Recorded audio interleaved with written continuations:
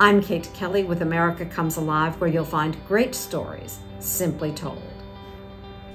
In the early 1900s, firemen rushed into burning buildings to fight fires, but they couldn't stay long. They were quickly overwhelmed by smoke.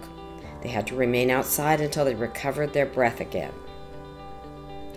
This was a challenge that vexed black inventor Garrett Morgan. Morgan was one of 11 children born to parents freed from slavery. He left home when he was 14 and settled in Cleveland.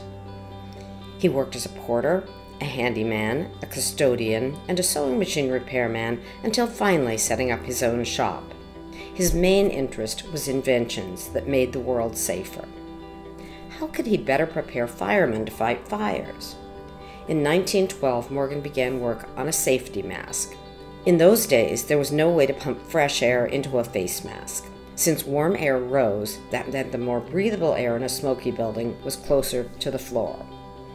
Morgan thought that if he could use a breathing tube to pull the cleaner, lower air into the safety mask, a person might remain in the building longer to fight the fire.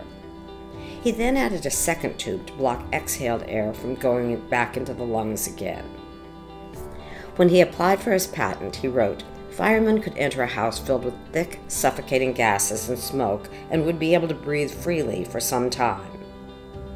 The patent was approved in 1914, and the mask began winning awards. He soon had orders from major cities like New York. Their fire unit used the masks almost immediately when the city faced a smoky subway fire. Then in Cleveland, Garrett Morgan's hometown, there was an explosion under Lake Erie where a tunnel was being built. Rescue teams couldn't get in because of the thick smoke. Four men in the first rescue party died shortly after descent. Messages were quickly sent to Garrett Morgan asking for the safety hoods. He and his brother Frank gra- grabbed some of the hoods and ran to the site of the explosion where they descended into the tunnel. The first men they encountered were dead, but the Morgans pushed on and found a few of the rescue squad members still living. The Morgan brothers and several volunteers wearing masks made multiple trips to rescue workers one by one. White newspapers wrote about the story but refused to acknowledge Morgan's heroism. However, the local community came together and presented several awards to acknowledge Garrett Morgan's achievement.